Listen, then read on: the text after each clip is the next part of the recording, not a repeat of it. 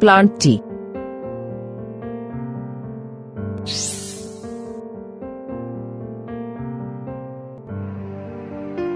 All plants are included in this group.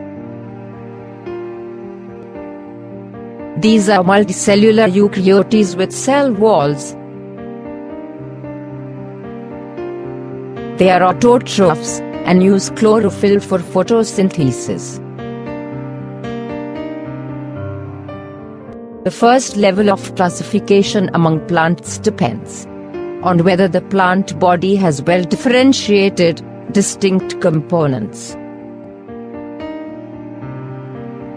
The next level of classification is based on whether the differentiated plant body has special tissues for the transport of water and other substances within it.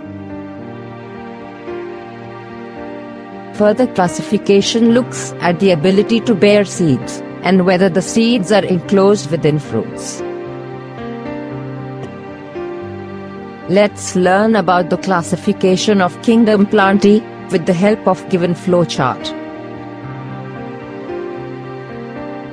Let's understand the classification of plants with the help of given flowchart. All the plants have been divided into two categories, plant, which do not have differentiated plant body for example Thallophyta and plants which have differentiated plant body. This category is further divided into two subcategories.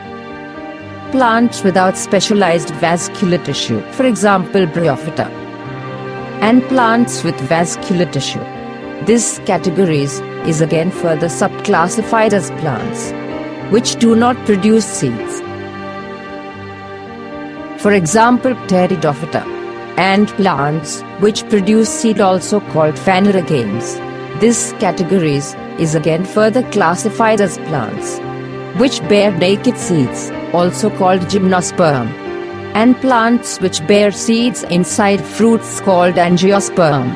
Angiosperm are of two types, plants having seed with two cotyledons called dicot plants, and plants having seeds with one cotyledons called monocot plants.